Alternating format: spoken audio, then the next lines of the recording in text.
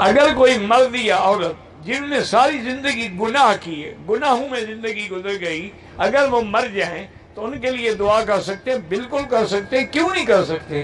क्या पता उनकी कोई ऐसी नेकी हो कि वो बख्शे जाए और हम बिला वजह बैठे रहें। जिनको हम गुनाहगार समझते हैं ना, याद रखें कि जब ख़त्म नबूवत की तहरीक चल रही थी, हज़रत शाह बुखारी रहमत ज़िंदा थे।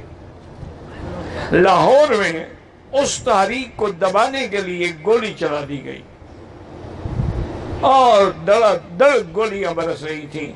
लोग भाग रहे थे। आगे घर वाले जो हैं, दुकानदार ने भी शटर गिरा दिए, डर के मारे कि हम पना दें, हमें भी गोली न मार दें। उस वक्त ही हमने जो हीरा मंडी की तवायफें थी ना, उन सबने अपने दरवाजे खोल दिए कि इधर आओ, हम बना देने के लिए तैयार हैं। तो गुनाहगारों ने तो हजूर के इश्क और मोहब्बत में अपनी जान कुर्बान कर दी। तो हम आशिक तो सिर्फ़ दूर से हलवा खाते रहे।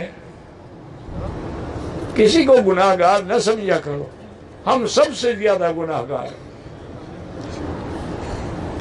हाँ एक अलग बात है कि किसी को मौका ना मिले गुनाह करने का, वरना मौलवी को मौका मिले तो ये तुम्हारे भी आगे निकल जाए।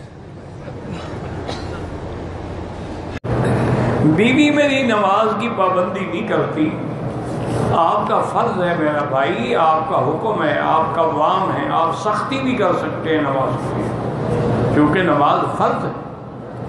और इमाम अहमद हम्बल रहमत का नज़दीक तो अगर एक नमाज़ छोड़ दे, काफिर हो जाता है। उससे तो फरमाना है कि निकाह ही नहीं रहता। इसलिए सख्ती करो, प्यार करो। अच्छे ओलमा की तकारीर सुनाएँ। नमाज़ के बारे में जो किताबें छपी हैं, वो ख़ुद बैठ के उनको सुनाया करो। और अल्लाह से दुआ भी किया करो कि अल्लाह हिदायत दे। मतलब देखो ना, तुम्हारी खाना पकाती है, नाश्ता पकाती है, तुम्हें लंच कराती है, डिनर कराती है, कपड़े धोती है, सिर्फ़ नमाज़ नहीं पढ़ती। ये बात है? तुम्हारी नीयत ठीक नहीं है।